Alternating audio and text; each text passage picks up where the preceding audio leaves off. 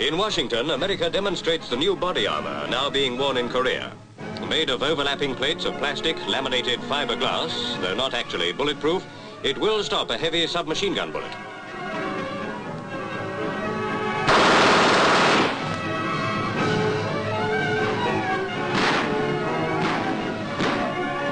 The armor is mainly intended to guard against shrapnel, which causes three quarters of all casualties.